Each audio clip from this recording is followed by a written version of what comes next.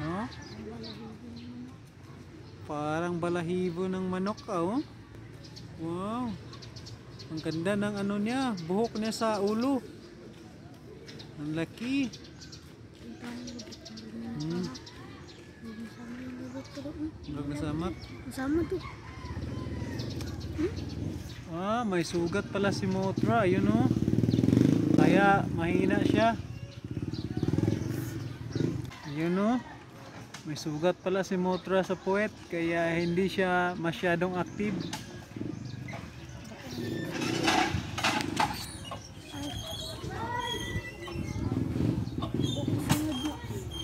Ang laki ng sugat ni Motra. Kaya pala hindi siya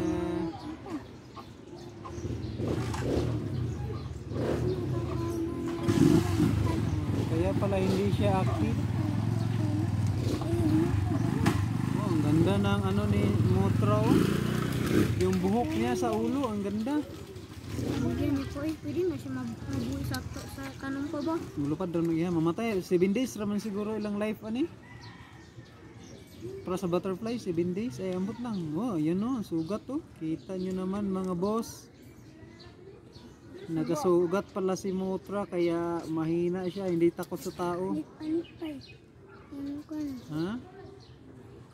Yun na nga, sugat nga yung nasa puwet niya. Yung ulo niya, tignan natin yung ulo niya, be. Hop, mag-focus ka, focus.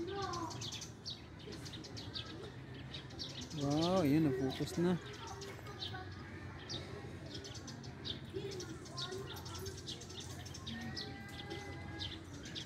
Ang ganda. Yung parang parang dahon ng niyog yung ano niya oh. Yung buhok niya sa ulo.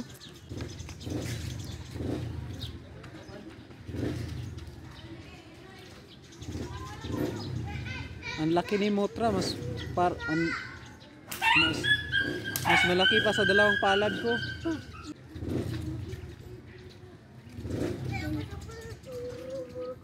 Sama yung mga pako ba? May sugat pala si Motra. Ah, parang matagal na to si Motra na nag-evolve. Dahil yung mga pakpak niya ay parang sira na, oh. Yun, oh. Na. Pa mga 5 days na yata to si Motra na buhay.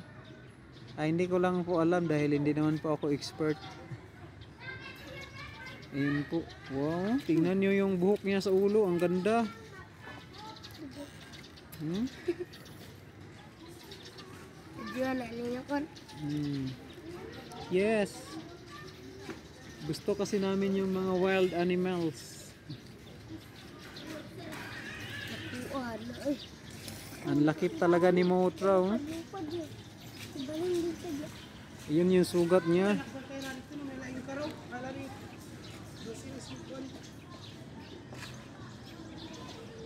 Tingnan niyo yung buhok ni Motra. Parang carpet yung buhok niya sa likuran, no?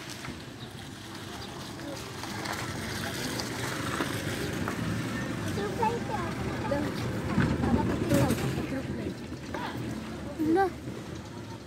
No, ang, ang puwet ni Motra may sugat. Ang ganda ng likod ni Motra, parang carpet.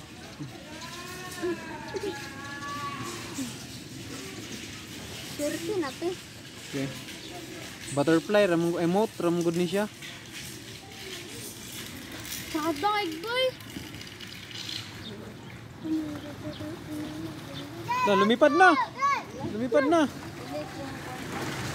Teka, na siya kwan kay Ayaw, ilagti ba? Balikson?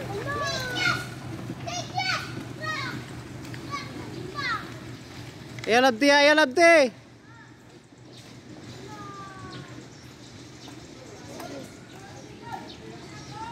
Lumipad.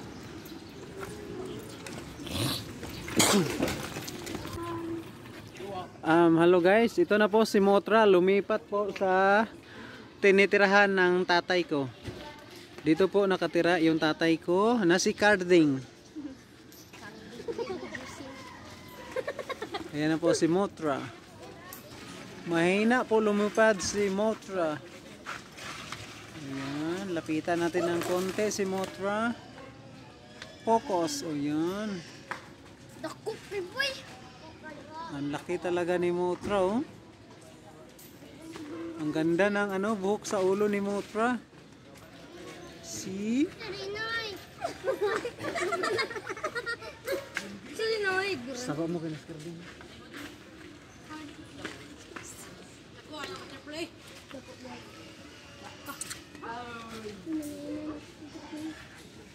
Focus, focus.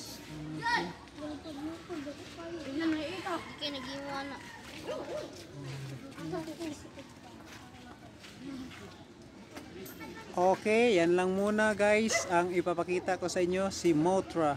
Sana mabuhay pa ng matagal to si Motra. God bless.